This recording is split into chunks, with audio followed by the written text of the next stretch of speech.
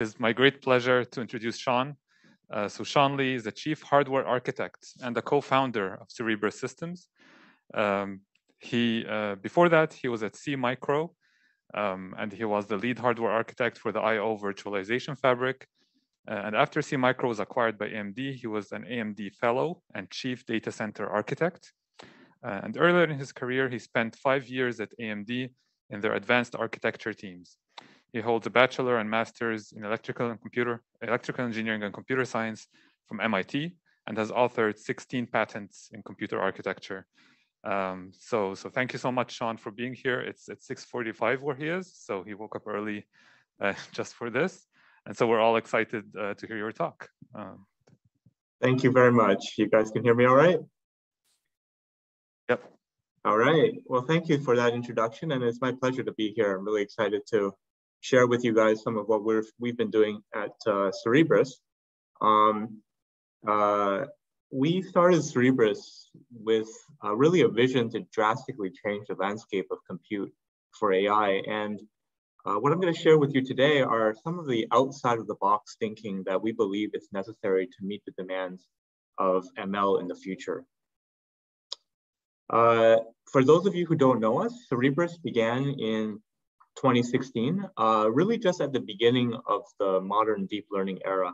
And our mission is to solve the problem of AI compute by building full AI accelerator solutions from the chip to the system to the entire software.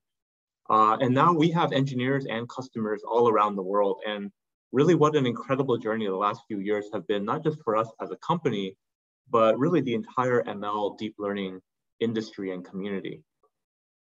But I'm here talking to you right now because we believe we're really just at the beginning of what neural networks can do. And we're really reaching a pace where traditional approaches can't keep up. So in this graph, you can see that in 2018, state-of-the-art neural networks had 100 million parameters, and that was already a lot. But in 2019, we got GPT-2 and Megatron that were 10 to 100 times larger. And last year we got GPT-3 with 175 billion parameters.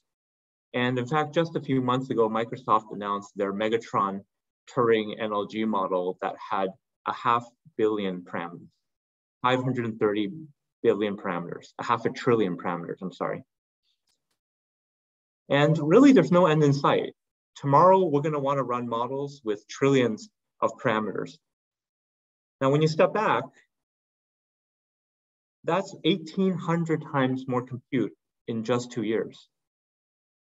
Let me say that again, that's 1,800 times more compute in just two years. That's completely unprecedented. And as a computer architect, and for us as a community, I think this is both exciting and it's daunting at the same time. Let's take a look at some of the ways that we've responded to this unprecedented demand in the industry. The exciting part is that as an industry, we've been hard at work and we've seen some remarkable innovations. In fact, those models I just showed you, they wouldn't have been possible without many of these. And here are some examples.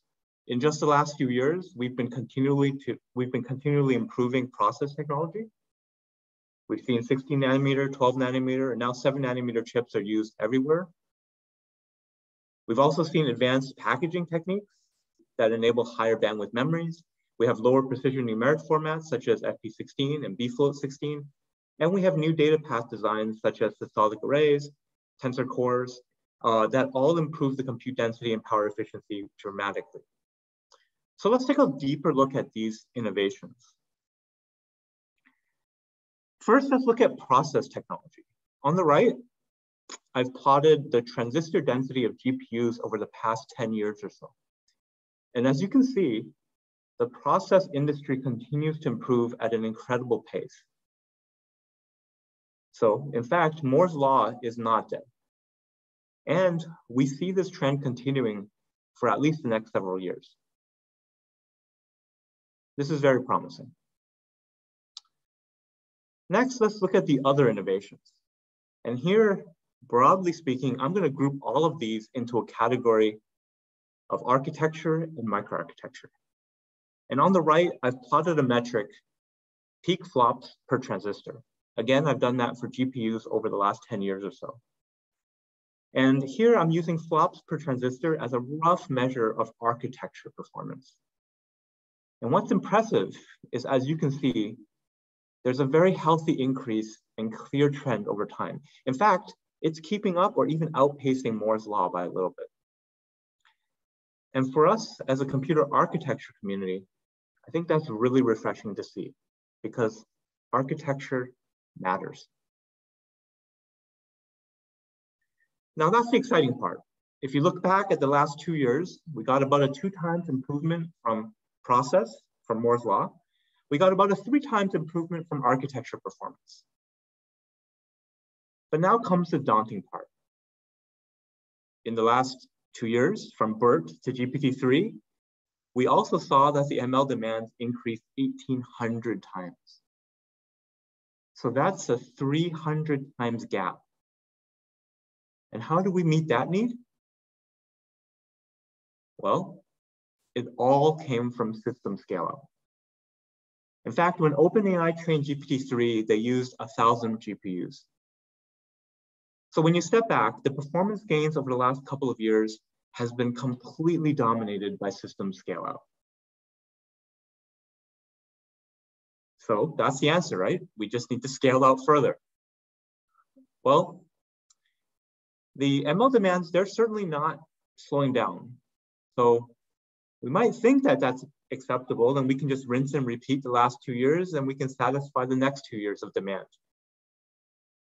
But let's imagine what that would look like. We'll get another two times improvement from Moore's law. We do have five nanometer and three nanometer in the pipeline. And let's say we get another three times improvement from architecture. Maybe higher density compute data paths, maybe yet finer granularity, precision, and lower precision numerics. And lastly, let's take another 300 times for more system scale out. We should ask ourselves, is that even possible? Well, that would mean clusters with the order of 100,000 chips. And while that's technically not impossible, I think we can all agree that practically that it's practically quite difficult to do that. In fact, just the sheer cost, power, and physical footprint, footprint would be quite prohibitive. So what can we do about this? One of the things that we need to realize is that the reason why scale out has limitations is that it's actually not that easy to deploy and in fact isn't that scalable. And fundamentally, the reason is that giant models, giant neural networks, they use massive memory, compute, and massive communication to tie it all together. And by trying to do all of this with thousands or hundreds of thousands of small devices turns the scaling of all three of these into distributed problems that are interdependent. And it really becomes an explosion of distribution complexity because we're all trying to solve a single problem with all of these small distributed devices. And this complexity, it grows dramatically with cluster size and it becomes overwhelming at large model sizes. So instead, for all of these reasons, with the existing scale out techniques, I think there might be another 10 times improvement, but maybe not much more than that. That would give us a cluster size on the order of 10,000 chips, maybe, and in fact, we're seeing evidence of some of this, some of this already. When GPT-3 was trained, that was on 1,000 GPUs. And a few months ago, when Microsoft announced uh, their MTNLG model, it was on 4,000 GPUs. So we believe that this, this scaling out trend, it will continue, but not much further with the existing techniques. So where does this leave us? With the current approaches, the industry possibly has a path to another 60 times improvement in the next two years. But we need 1800 times.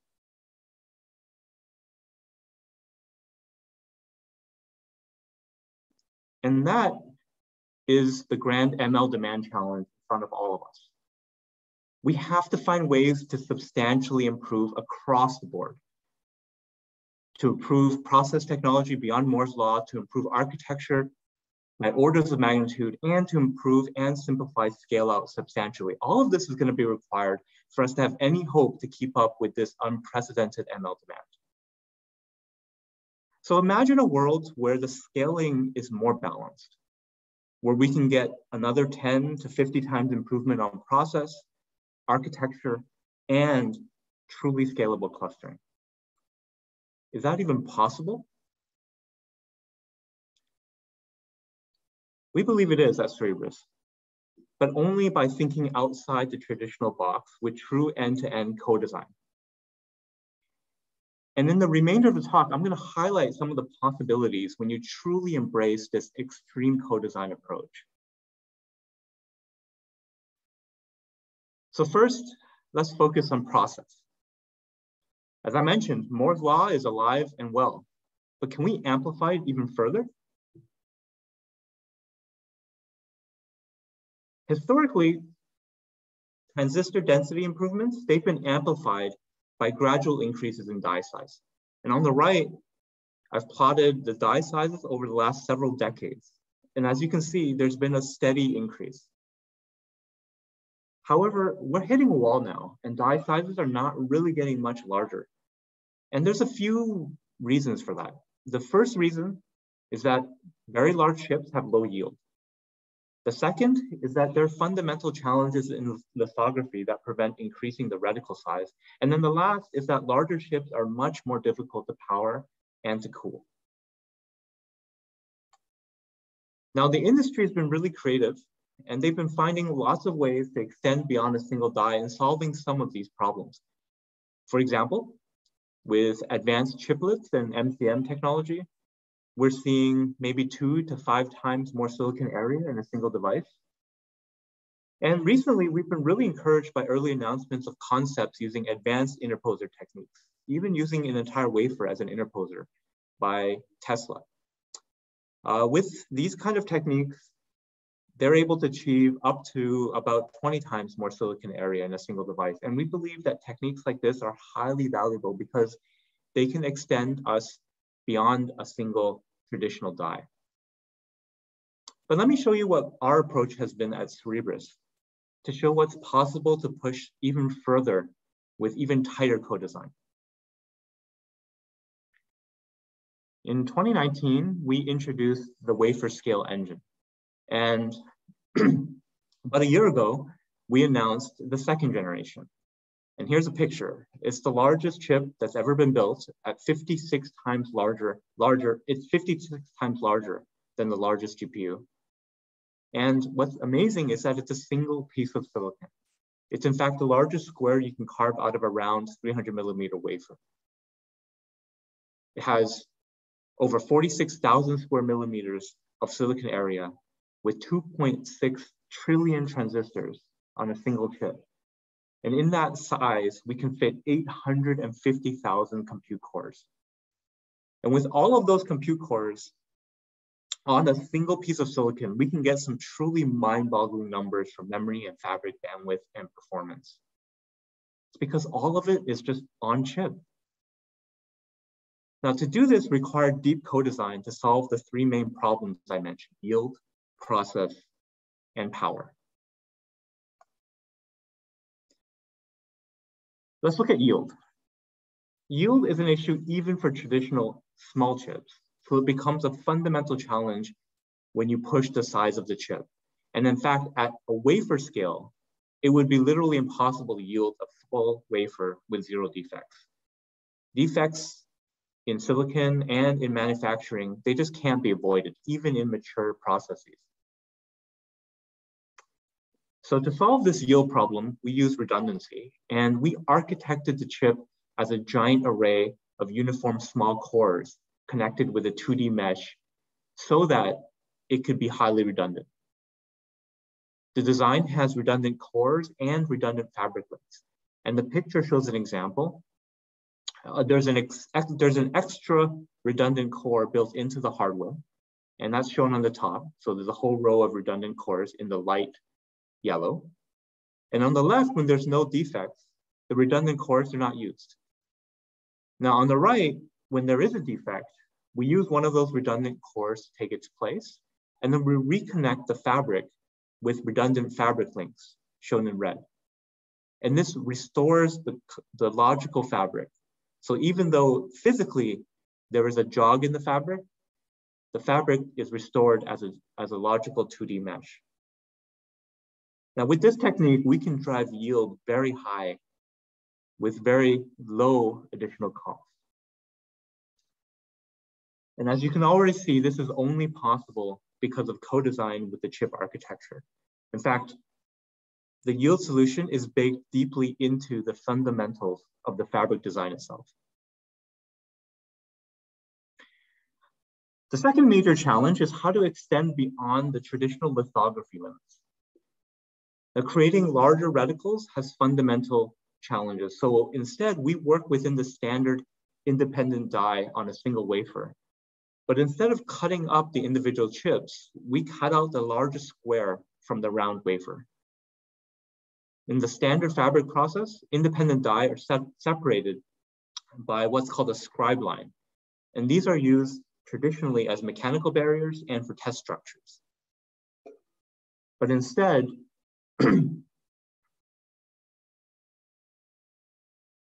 but instead, we add wires to cross those scribe lines to connect those otherwise independent die. And we do this using the high metal layers of the process and this extends the 2D mesh, resulting in a fully homogeneous array of cores across the entire fabric. And this is only possible with tight co-design with the fab, TSMC in our case, and the chip architecture. Now these seemingly short wires, they're a huge, huge deal because they provide the same bandwidth within a die, but across the entire wafer. And that's really only possible because we're spanning less than a millimeter of distance on silicon. And for chip designers, we do this all the time without even thinking about it. The tools just take care of it. So when you compare this with traditional SerDes-based techniques to connect chips, the difference is just massive. And the reason is simple. It's just physics, really. Driving bits less than a millimeter on silicon is much, much easier than through a package, connectors, circuit boards, and sometimes even cables. And the result is orders of magnitude improvement compared to traditional IOs, as you can see in the table. We're able to achieve, we're able to achieve about an order of magnitude more bandwidth per unit area and almost two orders of magnitude better power efficiency per bit. But there is a clear trade-off here. And in many ways, by moving the communication problem onto the chip, we've made it much, much easier. But we've shifted that complexity that would have otherwise been in the chip in the form of SerDes, and we've shifted it into the package. So this is really only possible with extremely tight co-design with the package and the full system around it. At the package level, we've taken this silicon and we've spread it out physically. We've moved all of it onto a central concentrated location. And this one chip consumes 20 kilowatts of power. And that concentrated high density of power exceeds all traditional power and cooling capabilities. First, we need to bring the power in. And traditionally, Bringing current is done through power planes in the circuit board laterally, as shown in the picture. But the current densities here are simply too high to be distributed laterally through the circuit board. And if we did that, we'd only be able to power the edges of the wafer. Now, once you get the power in, you also need to bring out the heat. And traditionally, cooling is done through direct airflow. But again, here, the heat density is too high for that to be effective. If we did that, we'd only be cooling the edges of the wafer. So here, the solution is co-design into a 3D package. We can bring the current in perpendicular to the wafer by going directly through the circuit board, and we can bring the heat out perpendicular to the wafer by using water flow through a cold plate. And this solution allows us to solve the power and cooling so that we can evenly distribute all the current and get the heat, heat out across the entire wafer, both from the edges and the middle.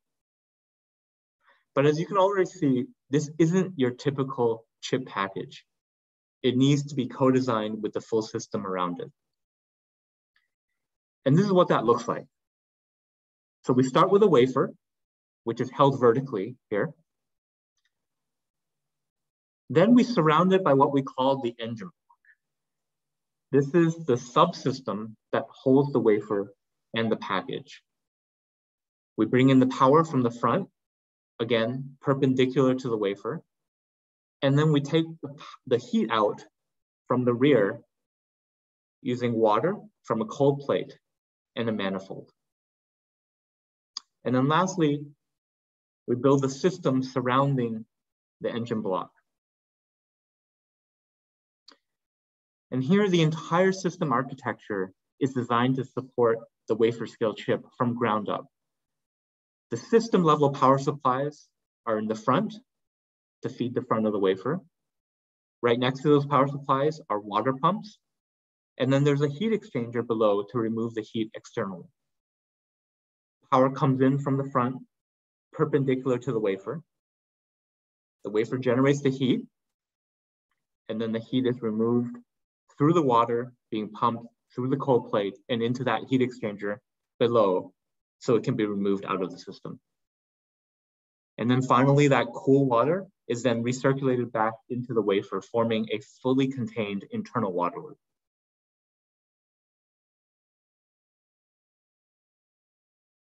And this is what the full system looks like. This is a system that is co-designed to enable a chip that's 56 times larger than traditional chips. Now with this level of co-design between the chip, the package, the fab, and the chip architecture, we can literally push the envelope of die size well beyond traditional scaling. And we believe new co-design approaches such as wafer scale chips and other novel packaging techniques, they're a critical part to solving this grand ML challenge in front of us. Because it enables us to push process gains by as much as two orders of magnitude and cluster scale performance on a single chip. Now that's the first component of solving this grand challenge. So let's look at the next component, the architecture performance. Imagine what would be achievable if we designed an architecture from ground up for neural networks.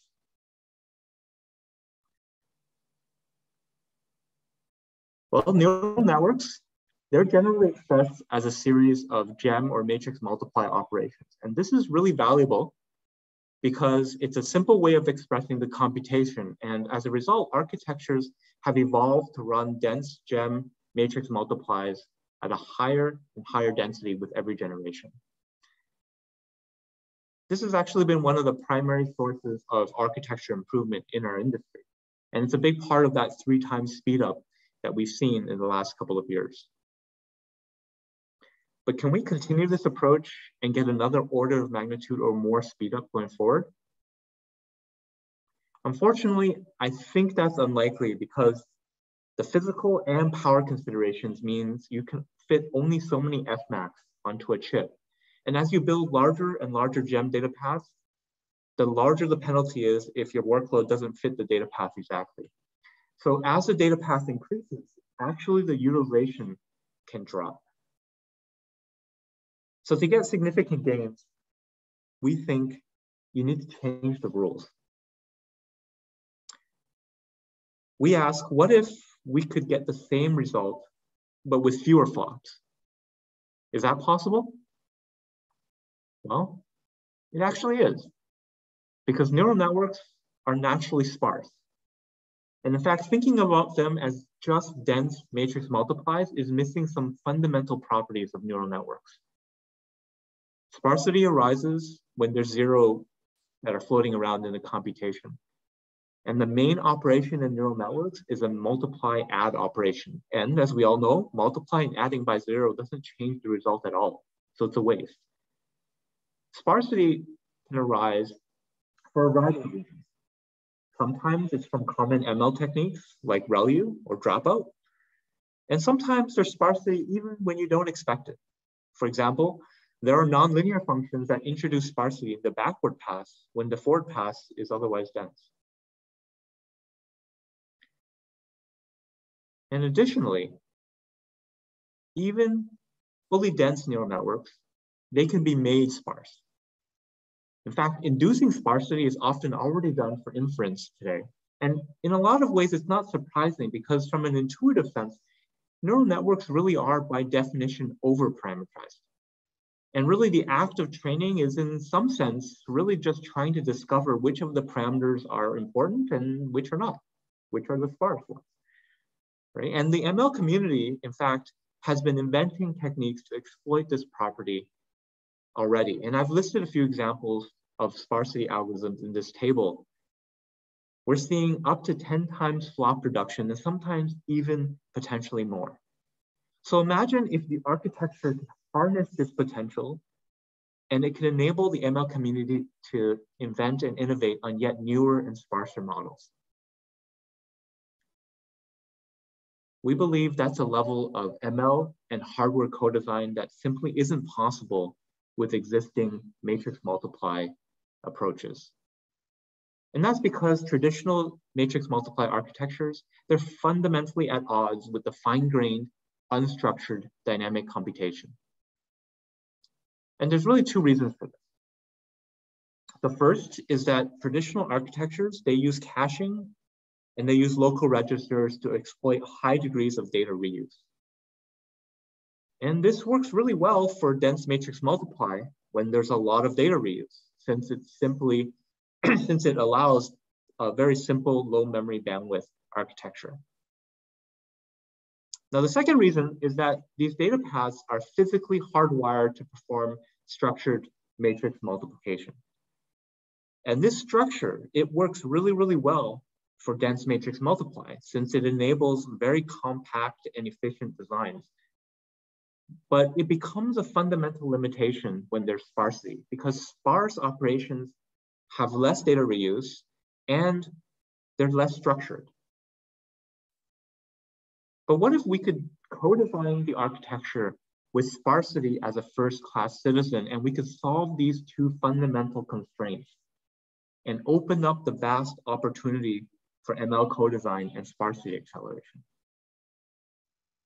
Now there's a large spectrum of ways to handle sparsity at different levels of granularity, but let me show you how we've addressed these two fundamental limitations at Cerebras to show you what's possible and how you can accelerate even the most fine-grained dynamic sparsity. So first, let's look at memory bandwidth. Traditional memory architectures use a shared central memory. And that's slow and it's far away when you compare it with the compute performance.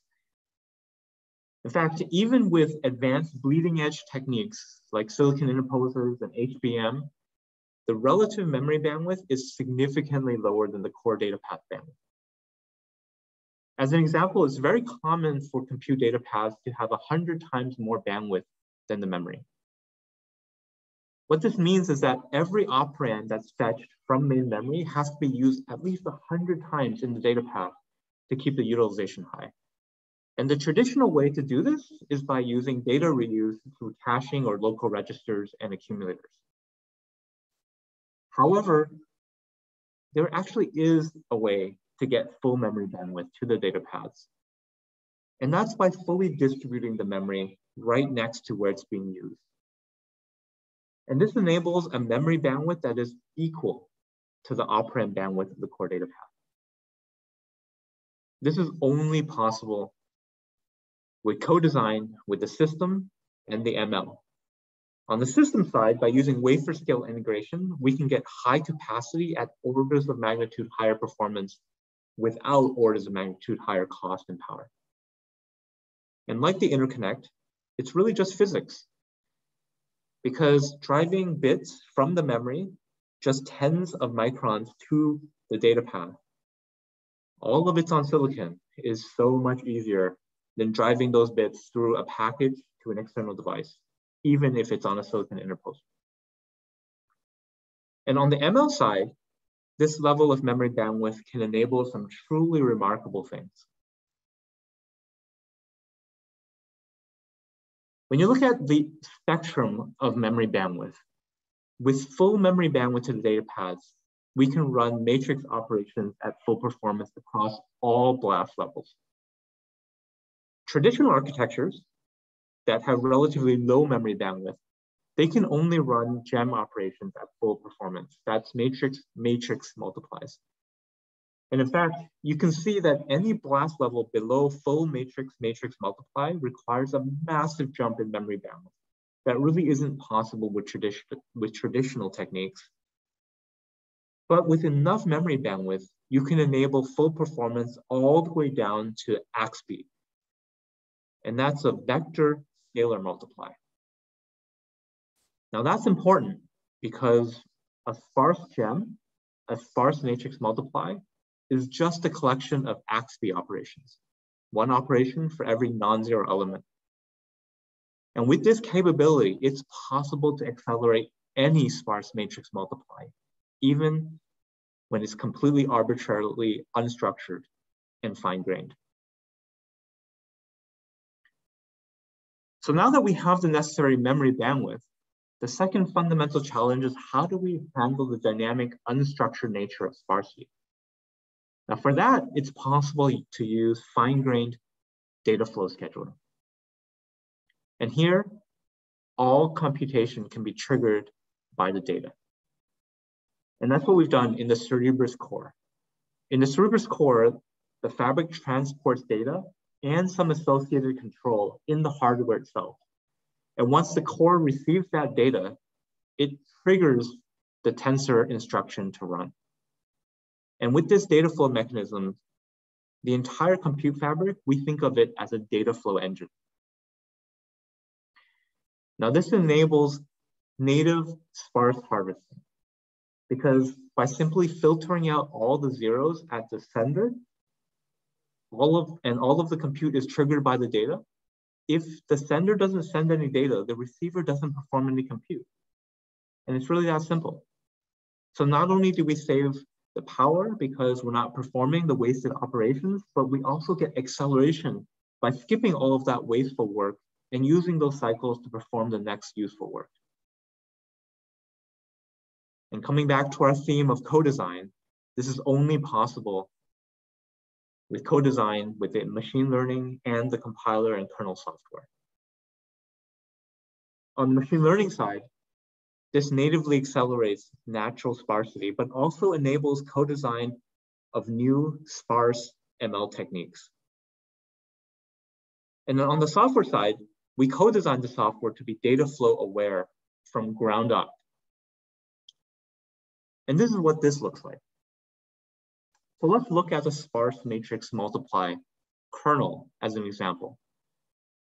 We consider our entire wafer as a single giant sparse matrix multiply array. And here's how that works. We start with activations distributed across the entire wafer's on-chip memory, and then we stream the weights through. As these weights stream through, they trigger multiplication with local activation one individual weight at a time. This is where we're using that fine-grained data flow mechanism built into the cores, and we're performing one AXPY vector scalar multiply for every weight. And we're skipping all of the zero weights. The full memory bandwidth is what's enabling all of this at full performance, and the resulting partial sums are accumulated using the high bandwidth fabric across the entire wafer. There's no need to block or partition the matrix because of the sheer size of the wafer, we can operate on the full range of wafer of, of matrix sizes. And it's exactly the same flow that supports dense and sparse operations. And here are some of the results that we've measured in our lab. We've measured speed up for fully unstructured weight sparsity on GPT-3 size layers, all the way up to 90% sparsity that's 10 times more zeros than non-zeros. And on the right, you can see our lab results, which are showing near linear speedup even at these extreme levels of sparsity. The real only limitation here is just Amdahl's law, because you have to amortize some fixed overheads. But our massive memory bandwidth and interconnect bandwidth, they enable us to reduce those overheads pretty significantly, as you can see. And the overheads, in fact, they only reduce as the model grows. These results, they demonstrate we can accelerate fully unstructured sparsity that's not possible with traditional GEMM or matrix multiply data paths. And therefore, we can accelerate all types of ML sparsity algorithms that are available today. But also what's more exciting, we can enable a new class of smarter, sparser ML models that are actively being developed. And really, as an entire ML community, it's through this level of ML co-design that we can practically reach extreme scale models because it lets us break free from traditional brute force flop scaling.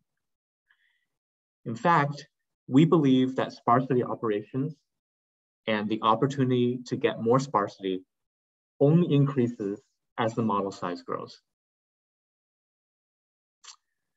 So coming back to the grand ML challenge in front of us, with techniques like sparsity enabling deep ML co-design along with traditional architecture improvements, there is a path to driving another order of magnitude more architecture performance. But only by changing the rules, by going beyond just flops, and by enabling an entire new, entirely new class of sparse ML techniques that are co-designed with the ML community that isn't possible otherwise.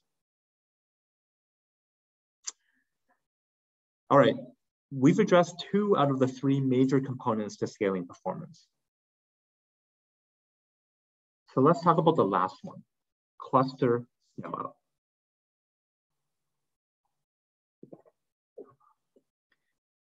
Clustering solutions, they already exist today.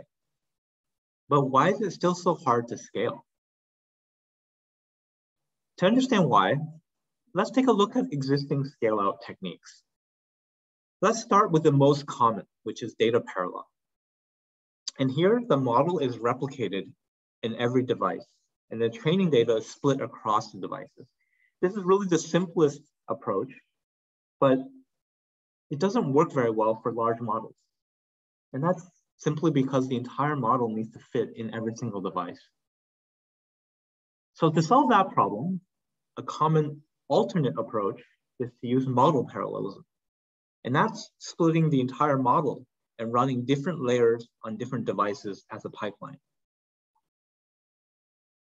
Now this enables larger models, but it has significant communication overheads and as you spread out over more devices, the activation memory increases quadratically because you need to keep all of the activations in the pipeline. You have to keep the pipeline full. So to avoid that, there's also a common way of running model parallelism by splitting the layers across devices. But this also has communication over because you have to split those layers and determining how to split the layers can actually be quite complicated. So because of all of these constraints, there isn't one single technique today for one size fits all way of scaling out. In fact, in most cases, training these massive neural network models requires a hybrid approach, which uses both data parallelism and model parallelism. That's actually how OpenAI trained GPT-3. So although scale out solutions, they technically do exist today, there are so many limitations and they're so complicated that often they're not really accessible. And the fundamental reason for this is actually quite simple. And that's because traditional scale out, memory and compute, they're tied to each other. And by trying to run a single model on thousands of devices turns the scaling of both memory, and compute into distributed constraint problems that are interdependent. As the model size grows, we need to do more partitioning. We need to partition onto more chips. We need to do more fine-grained coordination and more synchronization to keep it all working together. If you've ever trained a large neural network on a large GPU cluster before, you'll know what I'm talking about. In fact, many large companies like Google and Microsoft, they have entire engineering teams to figure out how to do this. To solve this problem properly, at Cerebras, we believe it's not about creating software solutions to hide that complexity, but it's about truly co-designing a, a solution at the cluster level and really thinking outside the traditional device. We believe it's possible to architect a solution that's inherently simple and inherently scalable. Let me show you the approach that we're taking at Cerebras to demonstrate what's possible. It's possible to think about the entire cluster as the ML accelerator. And by doing that, you can architect the cluster level memory and the cluster level compute in a more natural and scalable way. At Cerebras, we're doing this with an execution model we call weight streaming. We first separate out the memory from the compute, fundamentally disaggregating them.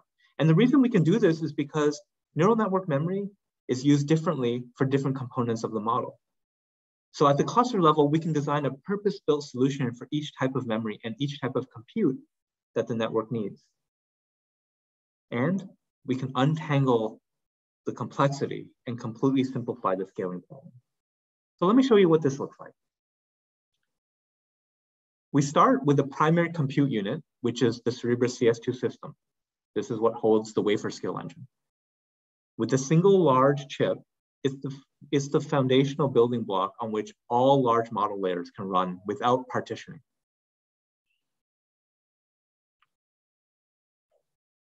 Next, to handle these models of extreme size, we add an external storage device to hold all of the model parameters or the weights. We call this technology MemoryX, and it's designed specifically to scale to extremely large model sizes capable of supporting up to trillions of neural network weights. And then, completely independent of that memory, we introduce an interconnect to scale up the number of CS2 systems. We call this interconnect SwarmX. And by specially designing it to scale neural network training, it can scale up to cluster sizes of 192 systems. Now, in this execution model, all of the model weights are stored centrally in that MemoryX unit, and they're streamed onto the CS2 system as they're needed to compute each layer of the neural network, one layer at a time. The weights, they're never stored on the system, not even temporarily. And as they stream through, the CS2 performs the computation using the data flow hardware mechanisms I mentioned. And the resulting activations, they stay resident on the system, ready for the next layer. On the backward path, the gradients are streamed back in the reverse direction, back to the MemoryX unit. And that's where we do the weight update. So as you can see, we've designed a purpose-built memory hierarchy in some sense at the cluster level. Now to do this, we need to be careful because we have to architect the solution to be latency tolerant. Because in general, when you move data further away from the compute, it can hurt performance if you're not careful about latency. But as I said, not all memory in neural networks is being used for the same thing. Activation memory that's being accessed immediately by the next layer, it's latency sensitive. So we keep it on chip. But weight memory that's used and updated relatively infrequently it doesn't have these back-to-back -back dependencies. So we can exploit this property by doing two things. First, we can use coarse grain pipelining to avoid the dependency between layers because we can schedule the entire training as a pipeline of layers. We start streaming weights for a single layer without having to wait for the previous layer to finish. And as with any pipeline, this enables high performance that's not latency sensitive. And then second, to cover the dependency between training iterations, we can actually overlap the weight update of the forward pass of the same layer. And this forms a fine grain pipeline of the updated weights. We're streaming out the weights while the forward pass is consuming it. Since the CS2 can process the weights individually, we can stream out all the weights independently. So once they're updated, the forward pass can proceed without having to wait for the entire weight matrix to be finished updating. So by using these pipelining techniques, at the cluster level, the weight streaming execution model can hide all of that extra latency from the external weights, and we can hit the same performance as if the weights were stored locally.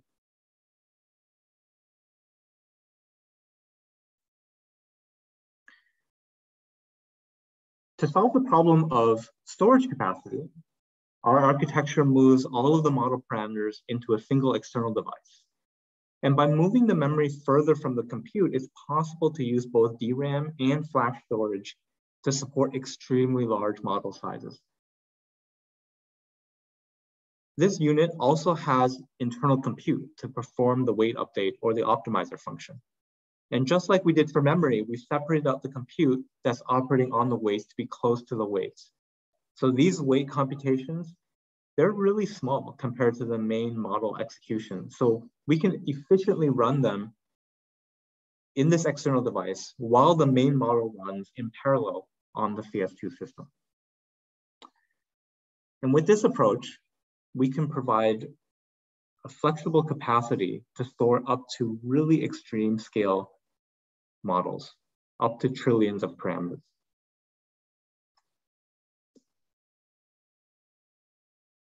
So the next thing we need to do is scale the compute. And we can scale compute completely independent of that memory. And this is done by simply clustering multiple systems with a specially designed interconnect for data parallel execution. This is what we call SwarmX. It sits between that MemoryX unit and all of the CS2 compute units, but it's independent from both. The SwarmX interconnect, it broadcasts all of the weights to all the CS2s, and then it reduces all of the gradients on the way back. So in that sense, it's actually more than an interconnect because it's an active component in the training process, purpose-built for data parallel scale-out training. And internally, that SwarmX interconnect uses a tree topology to enable very modular and lower overhead scaling. And because it's modular and it's disaggregated, you can scale to any number of CS2 systems with exactly the same execution model as a single system. Scaling to more compute is really as simple as adding more nodes to the SwarmX topology and adding more CS2 systems.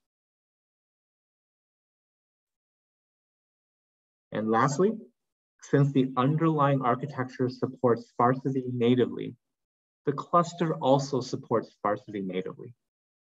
Sparsity is induced in the weight matrix within the MemoryX unit. And then those sparse weights are streamed to the CS2.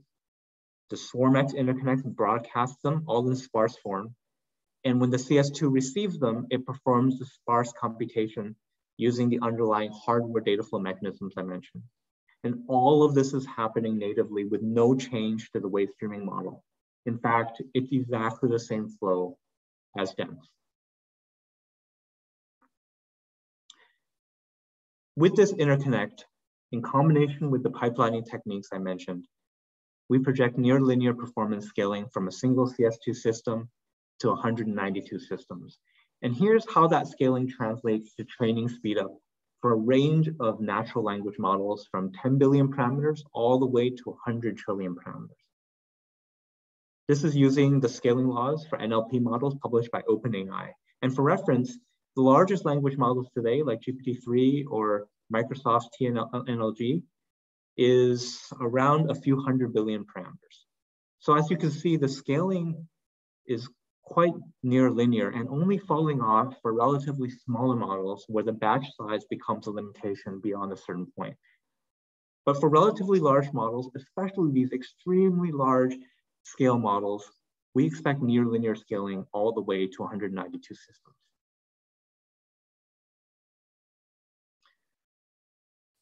So as you can see, by changing the rules, by thinking beyond the individual devices and thinking holistically at the cluster level, it's possible to solve the fundamental challenges of scale out today. And it's possible to execute exactly the same for a single device as for hundreds of devices. And that's how it's possible to address the final component of the grand challenge in front of us. We can get scale out that's actually inherently scalable.